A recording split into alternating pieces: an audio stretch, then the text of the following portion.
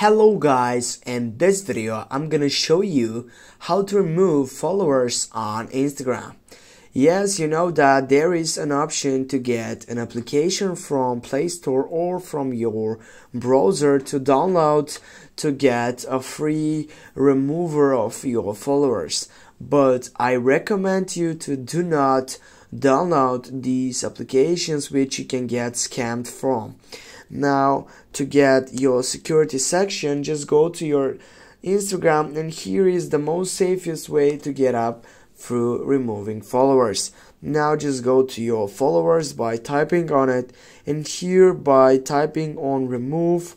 As you can see, Instagram won't tell this person that they have been removed from your followers. Go for remove, then go remove another person's account that you want to get it from. For example this one go remove again.